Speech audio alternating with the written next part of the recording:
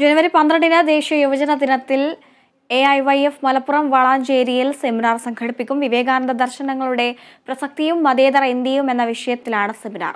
വൈകിട്ട് നാലു മണിക്ക് നടക്കുന്ന seminar A I Y F സംസ്ഥാന സെക്രട്ടറി ടി ടി ജിസ്മോൻ ഉദ്ഘാടനം ചെയ്യും. Advocate K K Samad Ashraf Ali Kaliyath advocate Shafeer Kilisseri തുടങ്ങിയവരും സംബന്ധിക്കും. സത്യങ്ങളുടെ ഓർമ്മപ്പെടുത്തലുകൾ സമരങ്ങളായി മാറുന്ന കാലമാണ്. ഓർമ്മകളുടെ സമരമാണ്. എ ഐ വി എഫ് സ്വാഭാവികമായും ജനുവരി മാസം പന്ത്രണ്ടാം തീയതി നടത്താൻ ഉദ്ദേശിക്കുന്നത്.